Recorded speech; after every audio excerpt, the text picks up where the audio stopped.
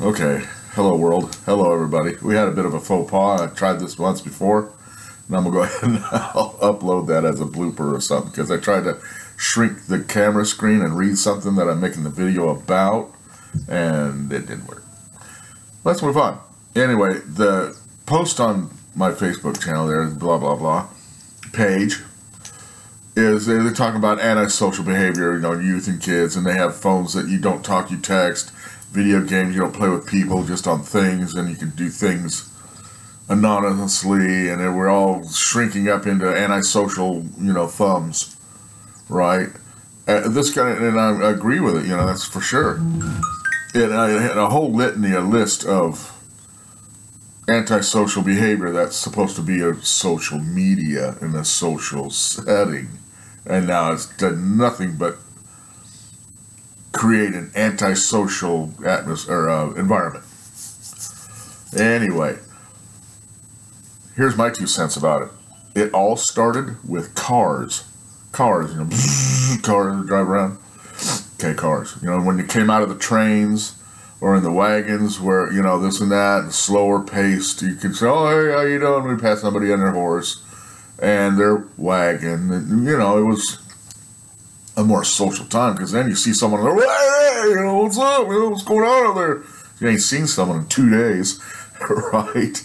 So, anywho, let's move on. Um, cars. Cars did it. Because where else is there this specialized environment? You know, AC, heater, radio, all kinds of doodads, nabs, knobs, and dogs and wobs, right? All that stuff plus this and that when you're driving in them. Here's why it's so antisocial.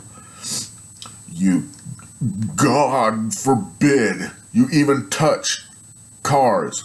Think, you, oh, lawsuit, all kinds. Oh my, you know, everything just balloons out of a car accident, fender bender, even a little tinky winky. You know, I mean, any stay away. You know, stay away. Don't touch. Don't talk. Nothing. No. Don't touch the car. Don't dink it. Don't walk by it. Don't put your hand on it. Don't look at it. You know, you can't touch cars. You can't touch in a car. And then you're all bunched up on freeways. Hundreds of thousands of people there. Don't touch. Don't talk. You know, oh, hi, hey, oh, you know. Nothing can you do to associate with anyone else really except for avoiding them. Period. That is the premise of driving a car. Don't touch, don't talk, don't associate, or you will crash. Right? So, can you imagine the antisocial mindset that driving on a freeway for an hour, say LA, I've done it, I've drove cab in LA, Santa Monica, Long Beach, 405, yo, right? So, you know, I'm hep to the scene. I've drove in Vegas for years. I drove a bike in Vegas. And you talk about, yo, right? Don't touch, don't this, don't, no, no, no. Don't look over. oh, right? Don't know. You know, be, oh, la, la, la, oh, Cars. Cars did it to us. When we came out of trains and got into cars, yeah, our families in it, yeah, our but we see them all the time. Yeah. So, there goes the truck. Anyway, my thing is, it was the car that made us into the, yeah, the the opening down there. I don't want to say what you know, because we are every one of us cut someone off, even do something la la la, right? Cuss them out, right? And then you know it gets me. Uh, no matter what, say right. If you're trying to yell la la, I need to get over right because I got to get off the freeway. You know, they're like, oh you can't get ahead of me. Oh, you can't. This is everybody. Everybody on the road, no matter how fast or slow everyone's going, they always got to be in front of whoever's in front of them all the time. Every time. I don't do it because I said, nah, I'm doing, you know, a lot of people, but most times, oh, you ain't getting in front of me. Oh, you ain't going to do that. I'm going to get ahead. Now, this creates an animosity, yet with this antisocial box we call cars that we are sequestered in for how long? It's not that god awfully long, but otherwise, if you're not in the car, you're with your family associated with them, not with people. Like in a train, you can sit, oh, hey, how you doing? Play checkers and stuff, right? Or sit over there, read the paper, blah, blah, blah, right? Cars? No, no, no. You have to be strictly, strictly A game strict, antisocial, or you will crash.